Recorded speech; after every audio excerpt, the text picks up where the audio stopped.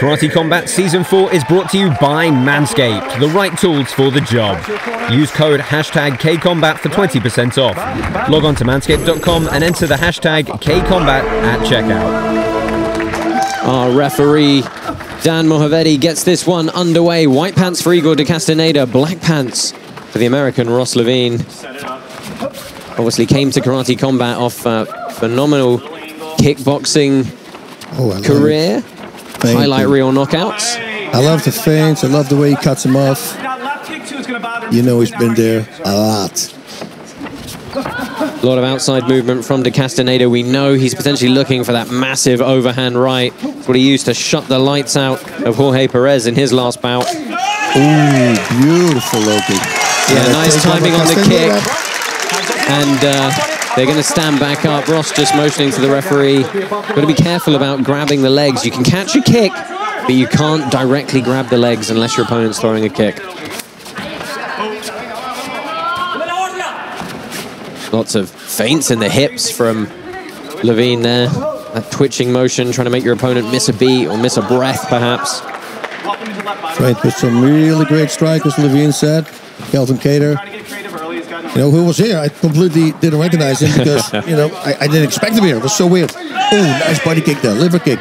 Yeah, rear kick up the open side, responded in kind by De Castaneda. You know, we mentioned it earlier, Bas, but the winner of this fight gets a title shot against our middleweight champion, Shahin Atamov. Yeah, Ross said that is his only motivation to win this fight, so he can go for the belt. Now, Levine does typically fight uh, Southpaw, but he switched stance a couple of times in this bout already. Kick. There we go, Bang switching, Muay Thai system, switching stances over and over. yeah, switching back to orthodox. That was a nice wheel kick from De Castaneda. Wide of the mark, but very fluid. Oh, He's getting backed up in the corner here. This is perhaps the ring experience of Levine paying off. Very calm, very smart, having his hands down. That means your opponent's probably going to hit the head. Interestingly, Levine told us this is one of the longest periods he's ever had for a training camp for a specific fight. So hopefully very well prepared indeed. I know he's coming off the back of uh, getting married in November of last year. So congratulations to him and his wife.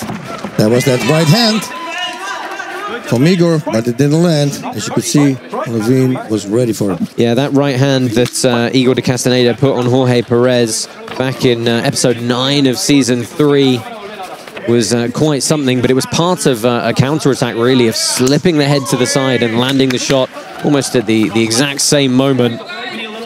Absolutely shut the lights out for uh, Perez.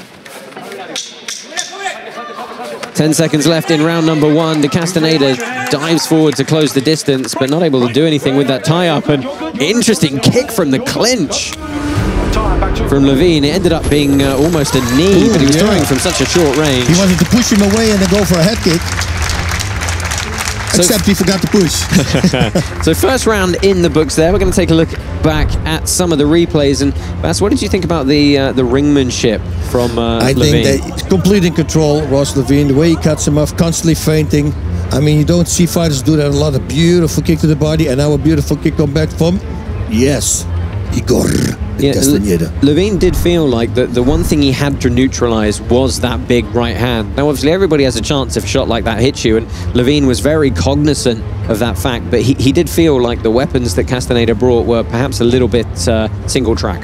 Yeah, this was a feeling out round. You could tell. You know, he's moving in, moving out. You know, he's feinting here, feinting there, cutting him off and drink the whole time, seeing what he's doing. And now I think he's going to build a game plan together, which they did in the break, uh, including his training partners, of course. And let's see if he can exploit that out. De Castaneda, he has the same thing here. He also got some instructions. Let's see if he can do it. So, second round underway here. Nice, Jeff. There. Yeah, opening up with a double jab is De Castaneda again, though. Levine's backing him up to the corner of the pit.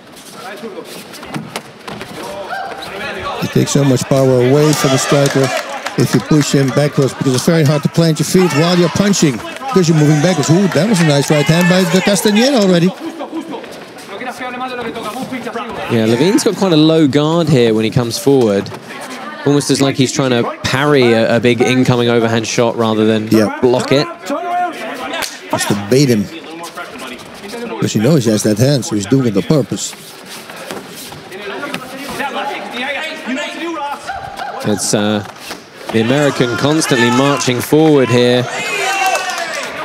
Not able to land too much of substance yet. He, he's in control, he's landing some shots, but there's nothing hugely clean by either of these fighters.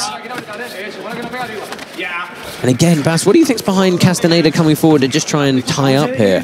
Well, uh, maybe he thought he was going to move forward. Ooh, wait. Well, you go until the referee tells you to stop, and the, the referee did not tell the fighters to stop, and that's caught De Castaneda unawares, and he's not considered down to... Well, now they're going to bring him back up, but uh, that could have been bad for De Castaneda. you got to go to when the ref tells you to stop.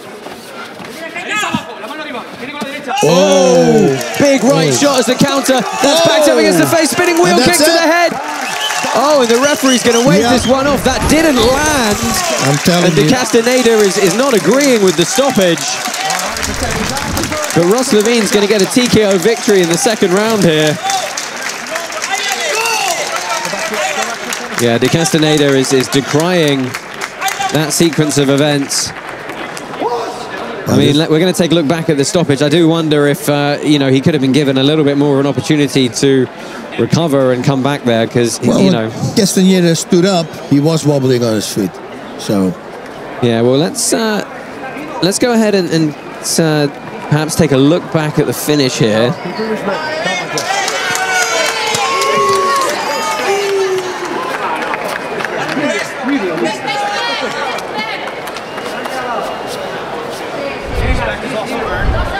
So let's take a look at the finish, and it was a lovely right hand, wasn't it, that backed him up. Now, that kick didn't land. De Castaneda was essentially taking a rest there. And then, look, he came to sit up. See, I, I think perhaps he could have been given a bit more time, but there was a beautiful right hand that really sparked this finishing sequence. And look at the intent to land that wow. wheel kick. He knew exactly where the target was. Oof. Very well timed. Yeah, De Castaneda was lucky to not get seriously injured there, though. But uh, that is going to do it for this one. Let's go down into the pit and get the hand of Ross Levine raised.